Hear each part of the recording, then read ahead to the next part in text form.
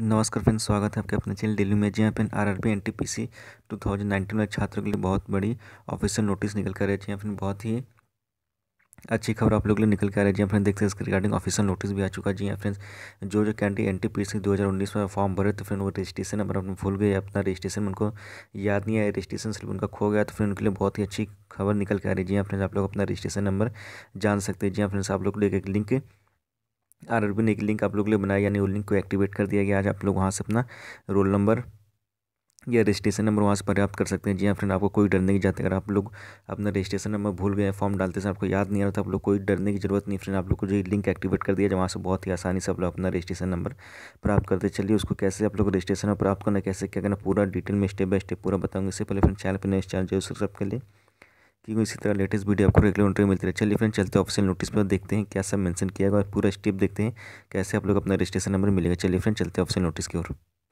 तो जैसा देख सकते हो फ्रेंड्स आपको ऑफिशियल नोटिस देखने सबसे पहले फ्रेंड्स आपको रेलवे रिक्वायरमेंट इलाहाबाद के ऑफिशियल वेबसाइट पर आना पड़ेगा। जी या फिर जैसे इलाहाबाद के ऑफिशियल वेबसाइट या फिर किसी भी जोनों के ऑफिशियल वेबसाइट पर आपको जाना, किसी भी जोन का ऑफिशियल वेबसाइट जाएँगे तो आप लोग देख सकते हैं।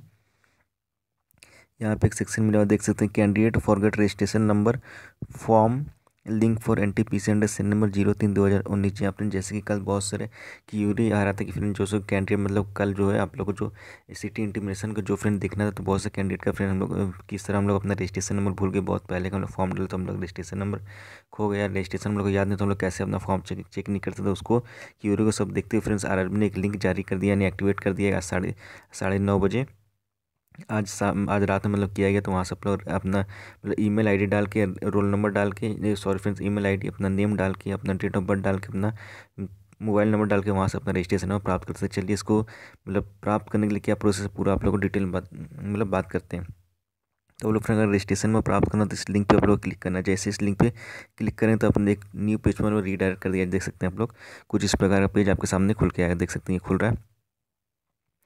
तो उसी पेज पर वो सारा डिटेल सब कुछ डालना है। तो देखिए कुछ इस प्रकार का पेज आपके सामने खुल के आएगा, देख सकते हैं हम लोग फ्रेंड्स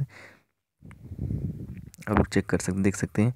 सेन नंबर ज़ीरो दो हज़ार अठारह N T P C railway recruitment board तो देख सकते हैं यहाँ पर जो मैंडेटरी फ़ील्ड होती है, यहाँ पर देखिए क्या क्या मैंने मैंडेटरी कंपलसरी फ़ील्ड जो आप लोग को भरना तो आपको नीचे स्क्रॉल डाउन करना तो यहाँ पर देखिए फॉरगेट रजिस्ट्रेशन नंबर यानी फिर आपको अपना रजिस्ट्रेशन नंबर भूल गया प्राप्त करना तो यहाँ पे इस फॉर्म को आप लोगों को फिलअप करना था। यहाँ पर देखिए क्या फिल करना है। यहाँ पर कैंडिडेट ने मतलब आपको अपना नाम फिल करना है। यहाँ पर डेट ऑफ़ बर्थ मतलब डेट ऑफ़ बर्थ आप लोग यहाँ पर फिल करना फिर डेट ऑफ़ बर्थ फिल करने के बाद आप लोग को ईमेल आईडी फिल करना है, जिस पर आपको रजिस्ट्रेशन नंबर डालने मतलब भेजा जाएगा आरबी की तरफ़ से। फ्रेंड्स, आपको साथ ही अपना मोबाइल नंबर भी फॉर्म करना मतलब फिलअप करना, उस मोबाइल नंबर को आप लोग फिलअप करना है, जो फ्रेंड्स आप लोग फॉर्म डालते समय मतलब मोबाइल नंबर डाले तो फिर उसी ईमेल को डालिएगा, जिससे मतलब फॉर्म आप लोग अप्लाई करते समय जिस ईमेल को मतलब आप लोग वहाँ पे मतलब डाले तो उसी ईमेल को डालिए, कोई दूसरा ना डालिएगा। जैसे उसको डालेंगे तो फ्रेंड देख सकते हैं, यहाँ पे आप लोग को कैप्चर डाल के जैसे यहाँ सबमिट का ऑप्शन आप लोग क्लिक करेंगे तो आप लोग को जो फ्रेंड्स ईमेल एक मतलब रजिस्ट्रेशन नंबर आपको ईमेल पे मिल जाएगा फ्रेंड्स एक ओ भी आएगा आपके मोबाइल पे, वहाँ पे आपको मतलब मैसेज के माध्यम से आपको वहाँ पे भी